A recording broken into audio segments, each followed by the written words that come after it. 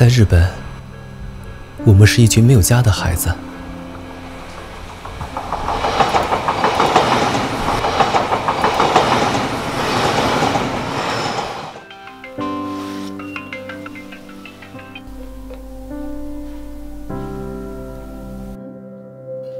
喂，儿子，怎么不跟我视频呢？现在这个地方网不好。每次和儿子聊天的时间越来越短，我们不在身边，也不知道他吃的好不好，住的环境如何。我总拒绝你的视频请求，不是不想念你的脸，我只是不知道这样的我还值不值得你骄傲。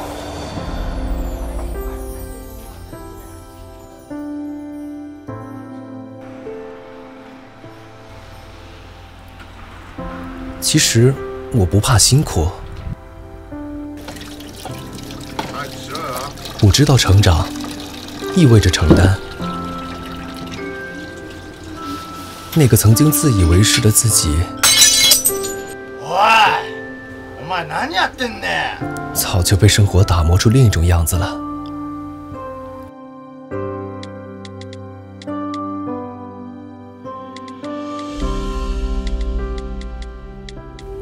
我的回答总是千篇一律，不敢告诉你我的你放心，其实是我想你。走在东京街头，跟人群擦身而过，热闹是他们的，我什么都没有。真想告诉你，这里的月亮好像没有家乡圆。我想念，不管回家多晚。你都给我留一盏灯，我想念放学以后推开门就闻得到的饭菜香。有你们在的地方是家，是力量，是安全感。我也想要给你们安全感。我可能走得很慢，但我不会后退。跨越山海，我不要得过且过。自己选择的跑道，这一次。我想要用行动证明。嗨，頑張ります。即使你们不能在前面为我指路，我也能勇敢的一直往前冲。新的城市，新的朋友，新的挑战，新的家，每一天。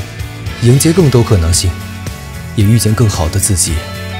曾经，你们给我的家，是依依不舍，是念念不忘，是柴米油盐的琐碎温暖，是一千五百公里两个半小时的航线。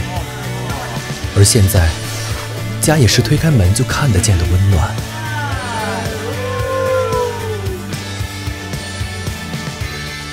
你呢？留学在日本。有没有找到一个懂你的房子，照顾你的一日三餐，鼓励你认真备考，安慰你打工后的疲惫，陪你入眠。